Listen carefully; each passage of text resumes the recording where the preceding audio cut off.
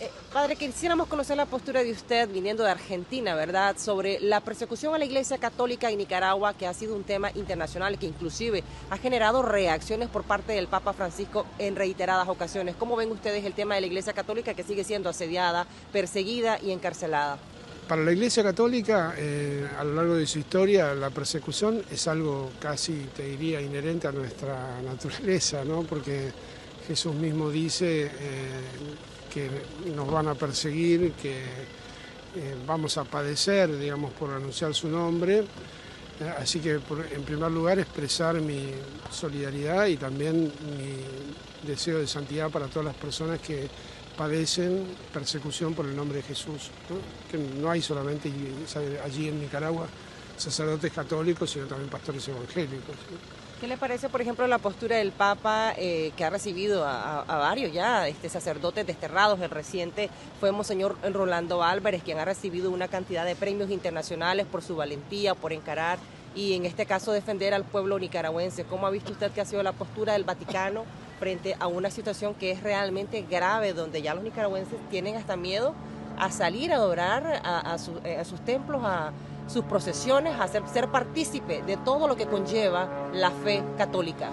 Bueno, nosotros siempre desde el instituto estamos en contra de todo totalitarismo y sobre todo eh, cualquier actitud de personas que, digamos, en este caso gobiernos, que cercenen algo que está consagrado en todos los derechos humanos a nivel mundial, que es la libertad de expresión y la libertad de culto. ¿no?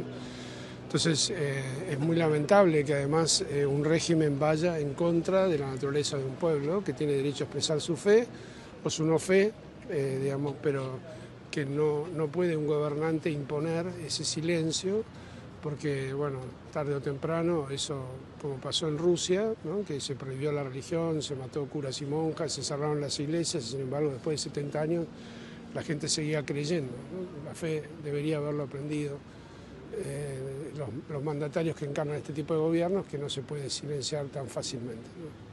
Padre, Nicaragua aparece en los informes entre los 10 países donde más se viola la libertad religiosa. ¿Qué mensaje usted le mandaría al presidente de Nicaragua, Daniel Ortega, sobre este tema? ¿Por qué perseguir a la iglesia, donde nada más es un ente que, que se dedica a realizar su labor? Mire, los cristianos siempre, eh, primero, en, primer lugar, por mandato de Jesús, tenemos la obligación de rezar por nuestros, eh, las personas que se declaran enemigas de nuestra fe.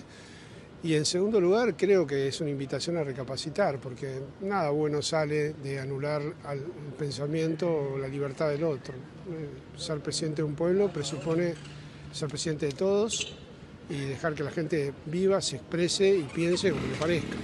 digo, creo que ahí hay algo para para reflexionar en gobiernos que parecen o se inician como democráticos y terminan siendo dictaduras. ¿Usted ha tenido contacto por casualidad con algún sacerdote nicaragüense que le haya contado cómo están viviendo desde su perspectiva la situación de Nicaragua en cuanto a la libertad religiosa? ¿Ha tenido contactos que le han dicho? No, mi contacto ha sido simplemente por lo que leo en los medios de comunicación, digamos, sobre la realidad del país. ¿no?